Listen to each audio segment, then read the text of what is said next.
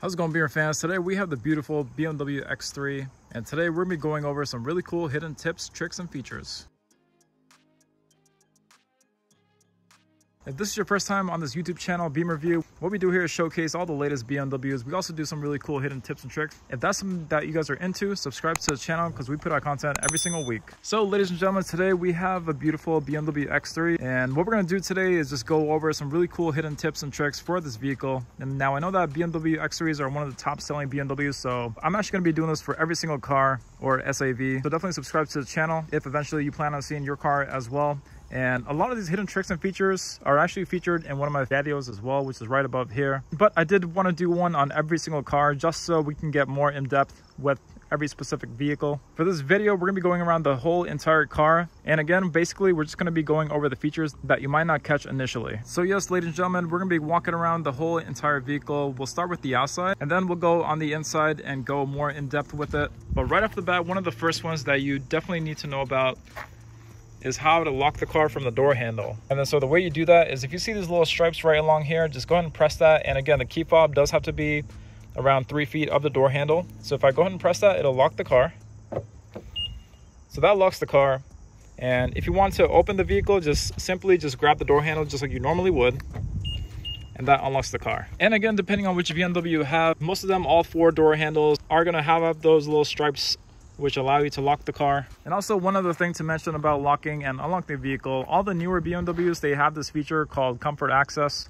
And what that will allow you to do is if you have the key fob within your pocket, you can actually walk up to the car and then the vehicle can unlock itself. You could also have it set to where if you walk away from the vehicle, the vehicle can, can unlock itself as well. BMWs, they also have this little kick feature in the back where you can kick beneath the car to undo the trunk. Now, this specific X3 does not have it because BMW is actually having some more chip issues in regards to the sensor that goes below there.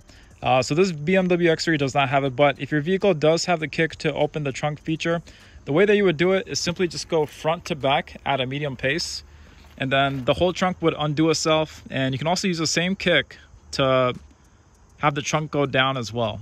Now, many people, they make the mistake of actually wiggling their foot like that, which is what you don't want to do.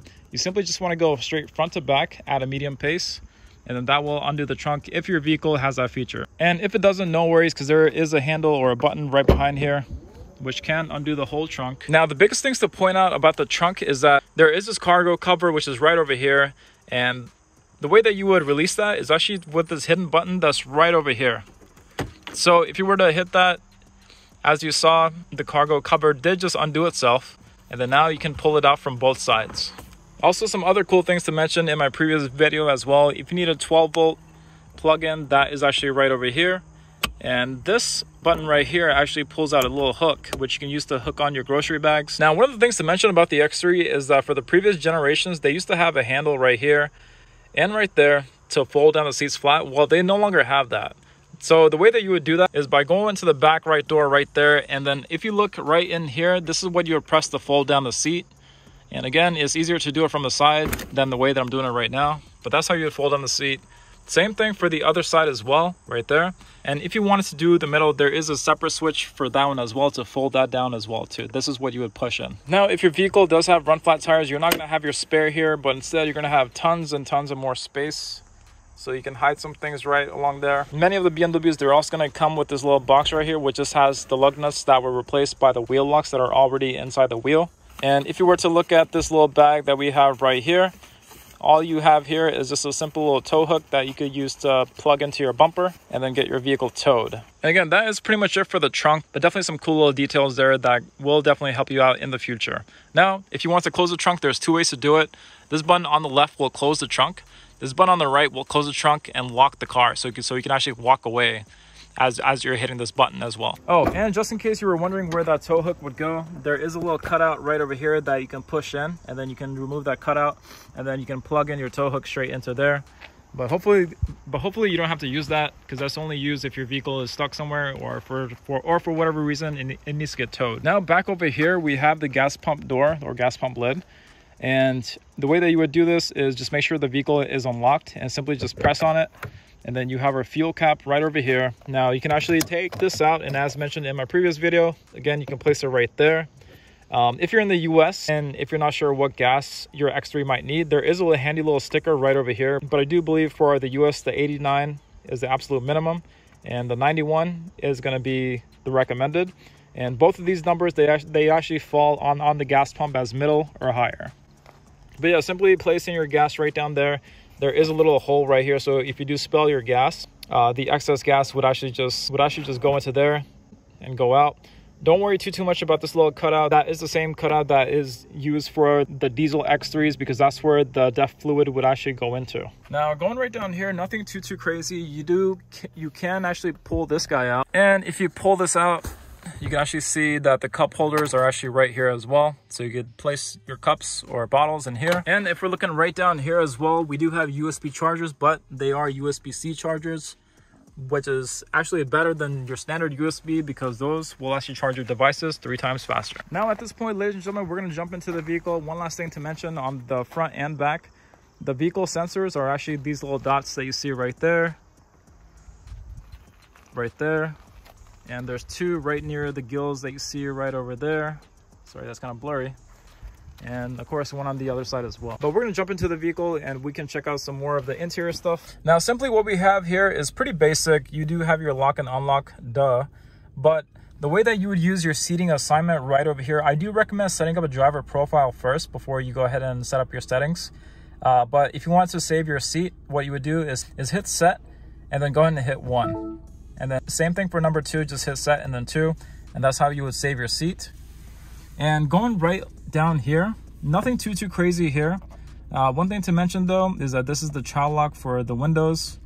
Uh, the child lock for the doors is actually separate. If you want to know where that was, that is inside the door sill and you can find that there for the back child lock. And then right over here, many would question what this button is. That is simply to fold in the mirrors and then that closes both of the mirrors as you can see. I'm gonna open that back up. This button right here is your selector switch for whichever side mirror you want to adjust. So if you wanna adjust the left one, just simply move this guy to the left and then you can go ahead and use your dial to adjust your side mirror there. Looking at this switch right over here, this is the trunk. And if I were to push down, it'll undo the trunk. If you guys don't believe me, there it is.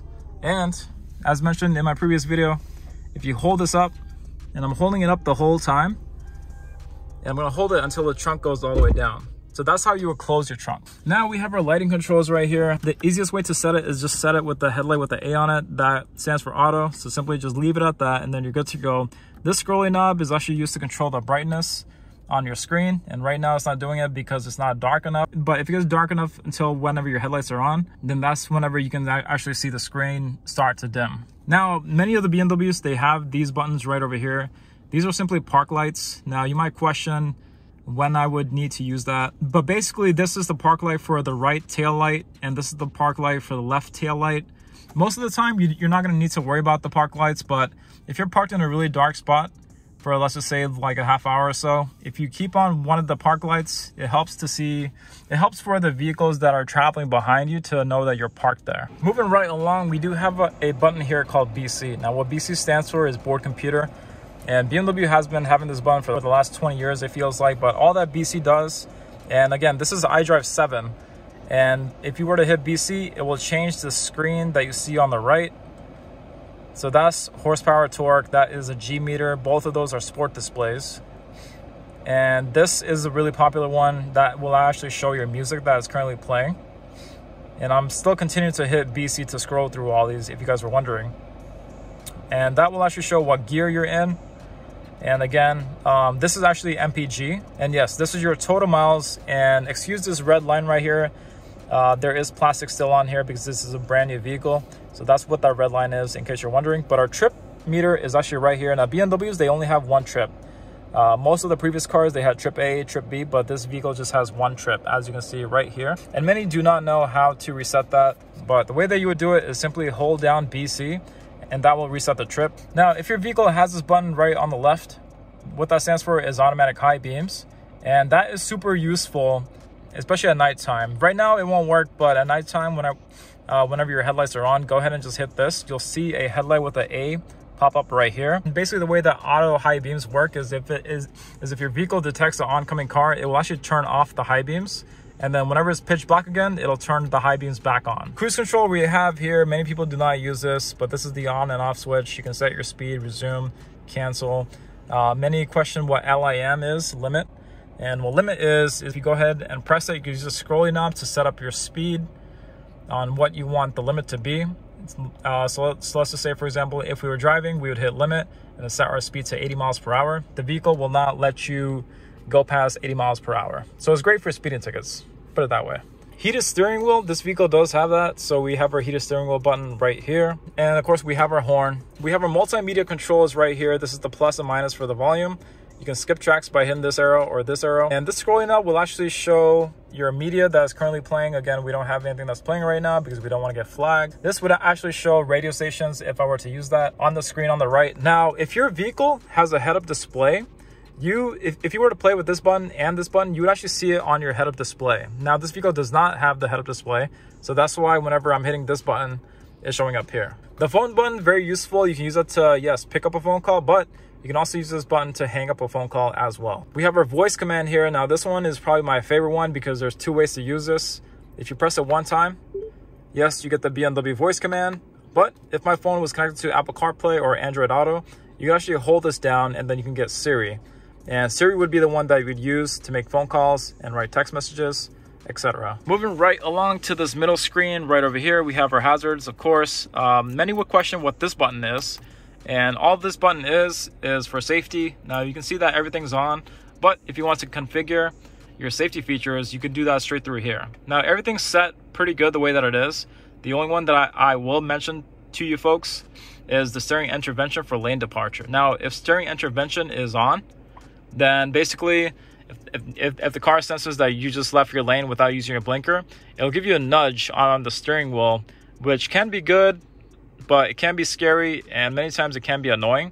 So if you don't like that feature, just simply hit this button and then that will deactivate that feature, but still keep lane departure on.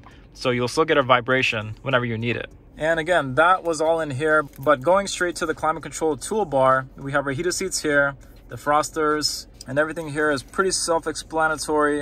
And then quickly moving right down here, we do have our volume knob here, but you can actually push this as well to mute whatever's playing. Now, BMW has these memory keys, which are super useful. You can actually hover your finger to see what your presets are. Not only can you use this to save your radio stations, you can also use this to save your favorite setting as well. So let me demonstrate for you what I mean by that. So I'm just gonna go into settings and where it says interior lighting. Let's just say, for example, if I want to preset one of these memory keys, as a shortcut to go into interior lighting. So I just set that up and now I'm at my home screen. And now, of course, if I wanted to go into interior lighting super quick, all you have to do is hit that guy and then you're there. Moving right along, we have a digital key card. Many of the BMWs have this, the, uh, the newer ones do. But this digital key card is good for a one-year trial subscription, so keep that in mind. But the way that you would use this is, is simply take it out this pop, simply take it out this plastic case that you see, um, and then the way that you would do it is let's just imagine if this was our door handle. You just tap and hold it briefly to lock and unlock the car. Then if you take it and then place it right here where we have our phone charging pad, you can actually place it there and then you can actually start your car all without your real keys. Now many would question why we would have this. Well, this is very, very useful to just keep in your wallet or purse. It's also really great to use whenever you're going to the beach, hiking, or swimming. So you don't have to take your real keys you can actually just completely operate your vehicle with simply just just this little key card. Now this vehicle does have a charging pad. Again bmw did have a big shortage on this but this vehicle does have it. There's two ways to tell if your vehicle has sorry three ways to tell if your vehicle has a, a wireless charging pad. Uh, the first thing you want to do is actually check your window sticker and then it'll actually say wireless charging pad on the sticker. Uh, the other two ways that you can also tell if it has it or not if the charging pad was not a wireless charger you would not see this little thing right here, this little thunderbolt. Um, and then you would also not see this guy right here, which actually turns blue whenever your phone is charging on the pad. We have a 12 volt right here. It's not a cigarette lighter, but you can actually use that if you need to charge your phone or charge many phones. You can actually use that as a USB adapter. Very useful. And going right down here to the center console, we're, we're simply just gonna go left to right. Now, Many might not see this button here. This specific vehicle has the Parking Assistance Plus package, which means that you simply get a really cool camera system And this is actually your drive recorder as well. So on your window sticker, if you're going through it, this is actually your drive recorder, which I'll come back to this. But again, this vehicle does have the 3D view, so that's why this guy is here. Now all X3s, they have this guy right here, which is simply parking assistance. But this vehicle, again, has a 3D view, so you get a more advanced view. You can actually get a top-down view. If you have the Parking Assistance Plus package, along with this 3D view, you can actually have, the, have your vehicle park itself, which is this automatic parking right here. You can actually do backup assistant right here as well. If you all do not know what that is, simply just comment down below and I can explain it to you. But also don't forget this little tab right here that is a bit hidden. You can also get a 3D view. And then this will actually show your whole 3D view if your vehicle has gesture control, you can actually do one of these to twist and turn the whole view as well. This vehicle does not have gesture control, so you can't do that. Um, and then the last thing that we saw in this little hidden tab right here was car wash. Now, if you see car wash, you can actually see where you would need to align your, your tire to the rail. Now, if I were to turn the steering wheel, that the lines are moving, and that was very, very useful to get your car right into the car wash. And again, all this stuff was straight through this little P with the cone beside it, parking assistance. And again, this vehicle does have the 3D view, hence why we have all these really cool features. If your vehicle does not have the 3D view, then you're simply just gonna see your vehicle with sensors in the front and in the back. Now, this button is starting to disappear, but this is the engine start stop feature where you can have your BMW turn off the feature where it turns off the engine at the red lights to save gas. If you do not like that feature, just go ahead and hit this and just make sure the light's on. The light's on, that means that the feature is off. Again, many of the newer BMWs, they're starting to not have this. So just keep that in mind. And of course, we have our engine start stop here. We have our different drive modes here. Now, I did do a separate video discussing all the drive modes, but the main mode that we're always gonna be in is gonna be comfort. Your vehicle will always start in this mode every time you get into it.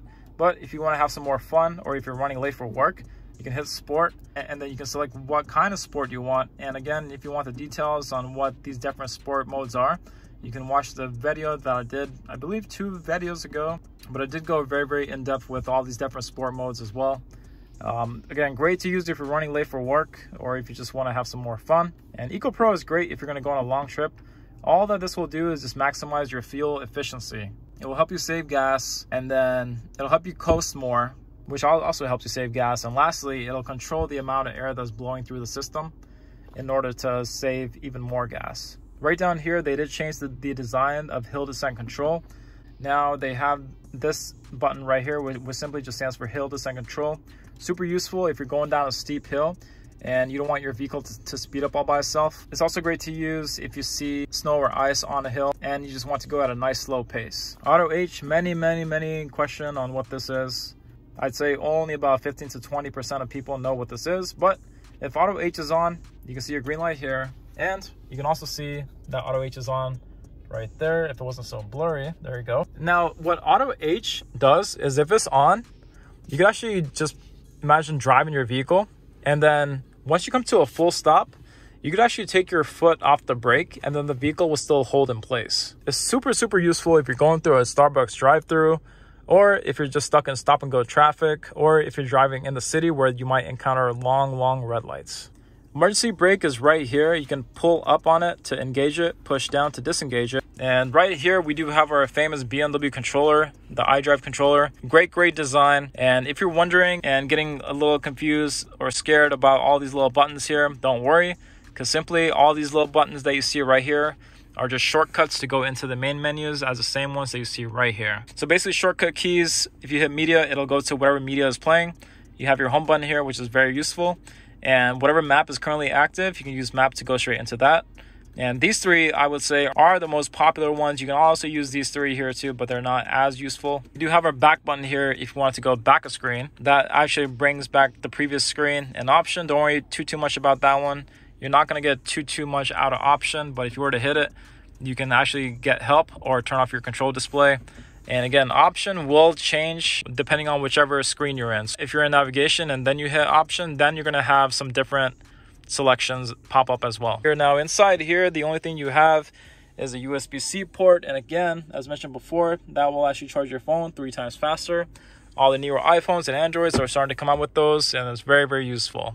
Uh, but just in case you didn't have that, we do have our standard USB, which is kind of hard to see, but it's this guy right there. You do still have your standard USB to charge your phone. Moving right along top, we do have our sunroof. Now there's a few different ways that you can use this, but if you do a hard push, you can actually see the sunroof go all the way back all by itself. And then again, this button controls both the shade and the glass. Um, I'm not gonna do the glass right now because we do still have plastic on top, so there's no point on doing that. Uh, but yeah, hard push, front or back, will control both the shade and the glass. As you, as you can see, the shade coming right back. And if you want to do a tilt, you just push inward and then it'll do like a little tilt. If you have a new BMW, your vehicle does have the SOS included for four years. You would press this and then press that to make the SOS call. Now, again, that is good for four years and it kind of works like AAA. It'll go call BMW Assist first, and then you can tell BMW Assist what type of help you need, and then they will take it from there. But yes, you can use that if, if you think you might have a flat tire, or for whatever reason the car is not working right and you're stranded, you can always use the SOS button. It works all the time, and it's included for four years with your vehicle if it's brand new. Now, I just want to touch on this iDrive 7 that we have. Now, iDrive 8 is starting to come out, but many of the BMWs that are currently out right now in 2022 are still going to have the iDrive 7. Uh, but iDrive 7, personally, I like it better than iDrive 8. Um, but that's just my thoughts. And again, the way that we use this is you have your main menus right here. So everything music is, is in here. And then if you want to connect your phone or adjust your phone or change phones, you're going to do that in COM, which stands for communication. And right over here, we have our navigation. And then all your fine tuning settings or car settings are all going to be in car. We have BMW apps here, but um, it's not that that useful. You do have your BMW apps here. There are a lot more, but this vehicle is not fully activated yet. Uh, but here you can actually go into your BMW messages to see if there's any software updates. Uh, but in my opinion, BMW apps are not that useful. And if we look right over here, we have our widgets. Now you can actually customize all these. The way that you would do that is click and hold and then it brings up your setup menu. You can click on this little box to change this widget that we have here and then you can change that to whatever you want. There's many different ones and it's really good to create and personalize your main screen that you have right here. You can also delete pages and add up to more than 20 pages as well. And that is also a little trick that you guys might not catch. And I think I just missed it, but we do have our wipers here. If you do one notch up, it goes into its auto mode and simply set it and forget it. If you want to do the rear wiper, just do a little twist on this. And this little scrolly knob just controls the speed of the, of the wiper as well. And yeah, guys, pretty much it for the X3. There's not a whole, whole lot that you probably already don't know, but these were the little things that you definitely should know. And that's the reason why I did this video. And again, if you want to see it for another BMW, just simply write it down below. These are the features and tricks they might not initially catch. They're very uncommon. Um, but definitely more of the finer details that will be very, very useful as you continue to own your BMW and even many, many other, because a lot of these tricks, they're actually very, very old as well too. So many of the previous BMWs had, but let me know if, if you all had any questions, simply just write it down below and, I, and I'll be more than happy to help you. Again, this is D from BeamerView. Subscribe to this channel. We got tons and tons of more content going out every single week. So stay tuned for the next one.